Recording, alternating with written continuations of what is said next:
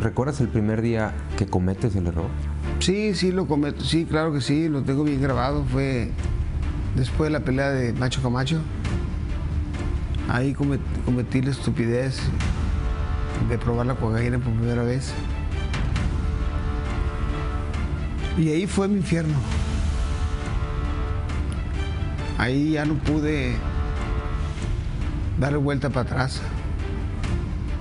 Siempre soñé, motivo, con ser campeón del mundo, con tener casas, con tener terrenos, con tener yates, y todo lo tuve.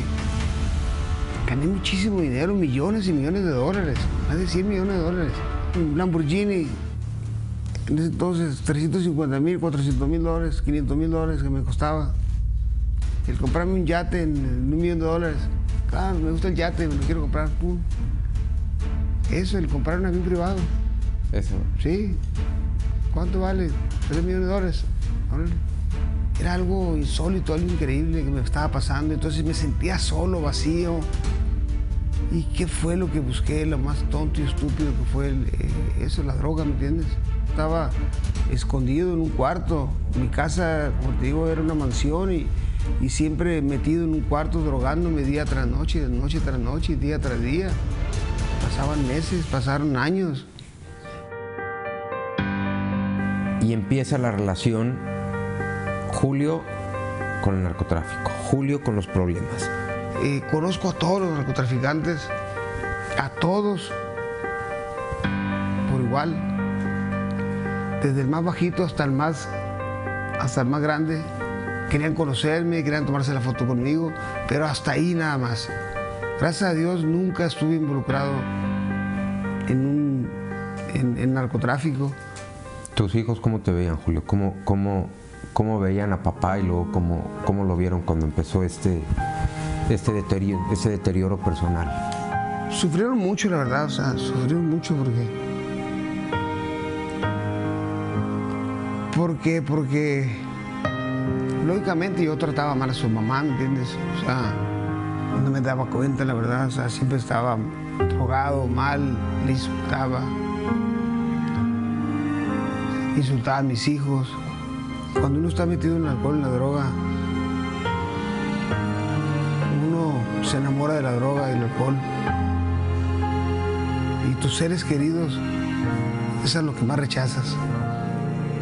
Es increíble. ¿En qué momento acudías a la droga? O sea, ¿Y luego qué pasaba? O sea, Tratar de quitarme la vida con una pistola. Le jalé dos veces y a la tercera le jalé, le jalé y mi cuñado metió el dedo y la bala salió para... te salvó la vida. Sí, ¿Y en ese momento viste algo que no habías logrado ver, Julio?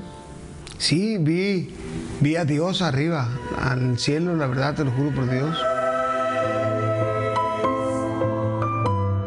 Julio, mi hijo, y Miriam, mi señora, fueron las que tuvieron el valor de llevarme a una clínica porque vieron que me estaba muriendo.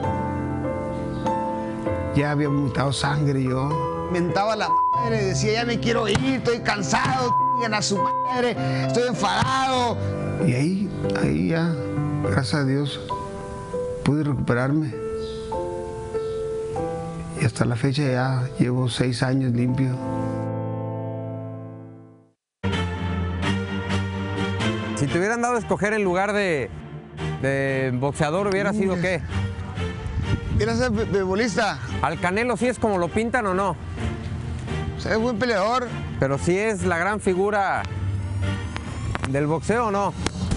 Pues mexicano ahorita sí. ¿Qué no te gusta del boxeo actualmente, Julio? No pelean los mejores con los mejores. No Ah. pelea el retador oficial con el campeón del mundo. Ahora es pura mer- mercadotecnia, puro dinero nada más. Ajá. Ganan mucho dinero, pero no ganan el reconocimiento de la gente, ni el prestigio de la gente. Tanto dinero que mueve el boxeo, las apuestas, ¿ha perdido credibilidad el boxeo? Totalmente. Totalmente porque ya los organismos no mandan, el que manda es el promotor.